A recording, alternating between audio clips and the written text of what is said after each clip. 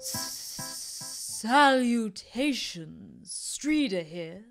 It's my role to light Bristol Old Vic's very large stage. Did you know there are over 250 lights in the theatre?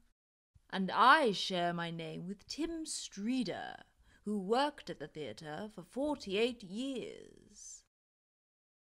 Bristol Old Vic has been running for over 250 years, and there has been so many shows.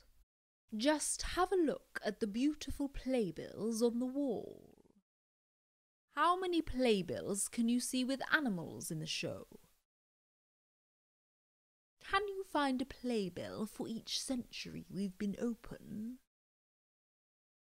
Can you find any of your favourite stories? Mine is Cyrano. Speaking of shows, it's time to warm up.